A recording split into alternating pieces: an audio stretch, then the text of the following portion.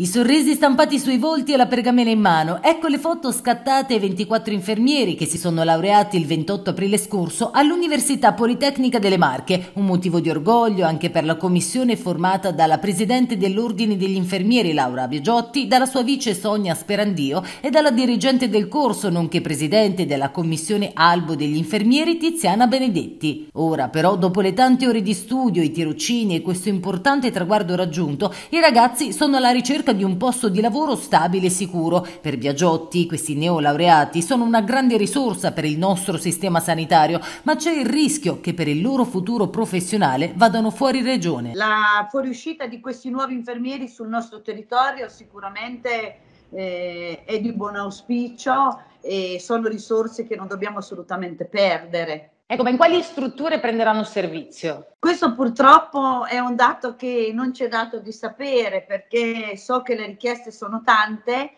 ma eh, parlando con questi neolaureati sembrerebbe che ci siano richieste, ma non nel pubblico impiego, ma semplicemente nel privato. O se è pubblico impiego, sembra che vadano in altre regioni. Beh, un peccato, c'è qualcosa che non va, visto che si parla anche di carenza di personale in questo settore. Sicuramente mh, mm, questo inciderà tantissimo anche sulla nostra sanità eh, provinciale, regionale, perché perdere queste risorse sicuramente eh, comporta eh, non poche difficoltà. Abbiamo visto che il personale manca, il personale infermieristico che fuoriesce da qui non ha spesso delle garanzie di poter fare un lavoro a tempo indeterminato ed è per questo che si rivolgono su altre strutture anche fuori regione. Ci auspichiamo che in questo caso siano solo dei momenti temporanei, ma che la regione stessa prenda subito in considerazione eh, l'assunzione di questo personale per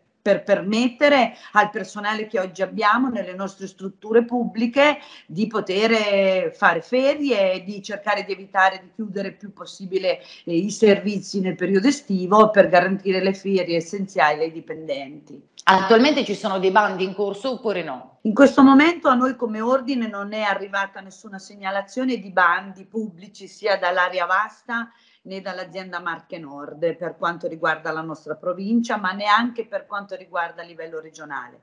E quello che ci viene in questo momento richiesto sono semplicemente eh, le strutture private che richiedono nelle RSA, eh, richiedono personale nelle case di riposo, che sicuramente anche queste sono in grande difficoltà perché eh, il personale sembra un po' richiesto da tutte le parti, ma poi appena possono questi ragazzi per avere uno sbocco professionale sicuro tendono a abbandonare proprio la nostra provincia, la nostra regione.